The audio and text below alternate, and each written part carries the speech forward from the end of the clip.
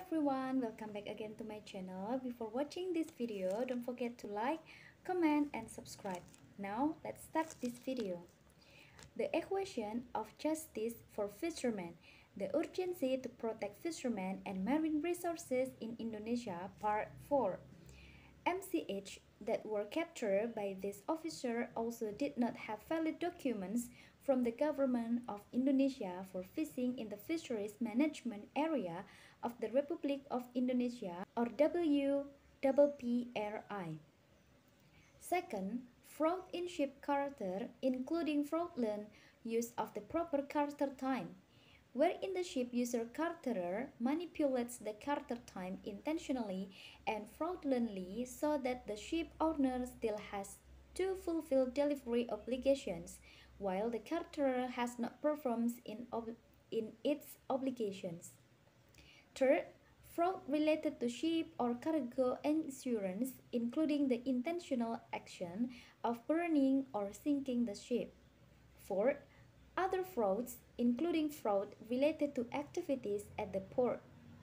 Fifth, Natuna Sea area is very rich in biological wealth in the form of fish with various types, the oil content is quite promising and also the treasure of shipwreck, but the monitoring system is still very weak. To oversee the island and archipelago in Indonesia, quite a lot of funds are needed. These funds include, among other things, used for petrol costs, fuel costs, and from petrol vehicle and other costs. However, during the last period, there was a reduction in costs for the budgets referred to above. Furthermore, Executive Director of the Maritime Studies Center for Humanity, Abdul Halim, gave a response to the rearrangement of the practice of fish theft by foreign fishing vessels, or KIA, in the North Natuna Sea. Halim said one of the things that was considered to be very significant in influencing the protection of the North Natuna Sea region was because the Ministry of, Mani of Maritime Affairs and Fisheries or KKP in the 28 and 2019 fiscal years and reduce the budget for supervision of marine and fisheries resources or PSDKP and the, diet and the Directorate General PSDKP. He stated the decrease in budget allocation had an impact on the decreasing number of monitoring days at sea from 145 days to 84 days in a year.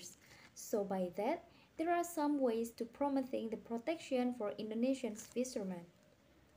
There are first postponing the decline in the surveillance budget at sea by CTF by postponing the decline of surveillance budget will also affect decreasing the number of days of supervision drop dramatically from 60 days in 2015 sorry from 60 days in 2017 to 48 days in 2019 only.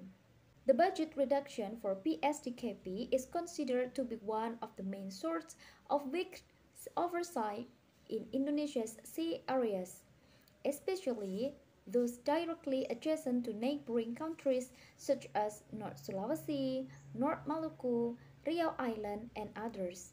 Second, suing all the parties that are involved in illegal fishing. This is in line with the statement by the expert of sea law expert at the Faculty of Engineering, Gadjah Mada University Yogyakarta, I Made Andi Arsana, he stated because legal action was limited to the captain of the ship, it was not enough to make a deterrent effect for the ship owner's company.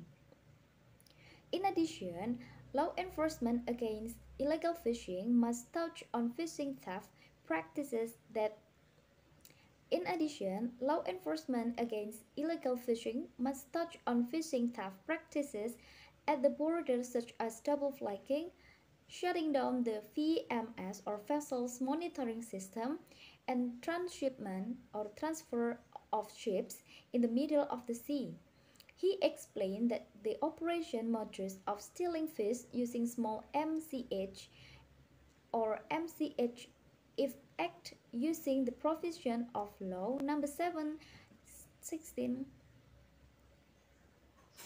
Number 7, 2016, concerning the protection and empowerment of fisheries, fish farmers and sole farmers, smaller vessels using 10 GT are categorized as small fishing vessels.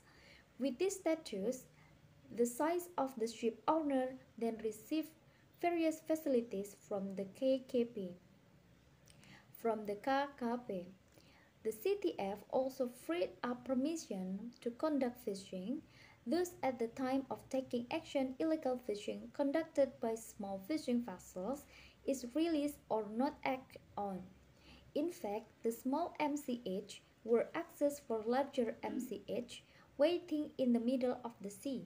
Third, blocking the fisher from Vietnam, China, who deliberately involved their country's coast guard to secure the fishing vessels of the two countries while sailing the while sailing in the exclusive economic zone area of Indonesia. This condition has taken place in recent weeks and has provoked Indonesia to maintain all its sovereignty in the territorial waters. The Natuna Island region of Riau has long been a busy area transferred by fishing vessels from around the world. The situation has not changed, despite political tension in recent years in the region and involving East Asian countries with Southeast Asia. Within this year, one of the Southeast Asia countries, Vietnam, even more aggressively catch fish in waters that fall into the exclusive economic zone into the exclusive international economic zone, not surprisingly, during 2019, the Ministry of Maritime Affairs and Fisheries claimed to have found 13 patrol vessels in the country that were on guard or were always in those waters. For Indonesia Destructive Fishing Watch or DFW or DFW, National Coordinating Muhammad Abdi Suhufan, the vigilance of the 13 Vietnamese patrol boats, its aim to keeping fishing activities carried out by, the, by their fishermen to continue to run well. The ships contains of fishing patrol boats and coast guard vessels and focus on safeguards in the border areas between countries. That was done by that was done by Vietnam because it was not yet that was done that was done by Vietnam because it was not yet clear of the exclusive economic zone boundaries of the two countries, Indonesia and Vietnam, so that it became a gap and justification Vietnam to expand fishing territory in the North Natuna Sea. The conclusion that we can avoid from the text above is first, bringing the strength of the marine fleet to support security in the Natuna Sea and other waters. Second, establish clear arrangement. Second, establish clear agreements or treaties regarding the boundaries of territorial waters with neighboring countries. As explained above, one of the problems in the Natuna Sea is that there are unclear sea boundaries issues. Unclear boundaries will create obstacle for the interests of the state, in this case the coastal state, and the people protected by claims of authority over the sea, which includes the sea, coast, coast and all their wealth. With the establishment of bilateral agreements between countries that border directly on their territorial waters, action will be minimized in violation or crime against other countries' territories. Third, extending the authority of the fisheries court so that it does not only cover criminal acts in the fisheries sectors as regulated in the fisheries law. When a non-fishery crime is found, fisheries court do not have the authority to handle non-fishery cases and require that these non-fishery cases be handled by the general court.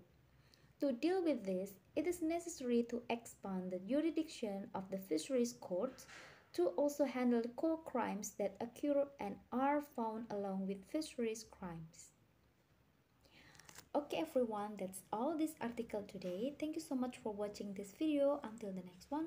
Bye bye.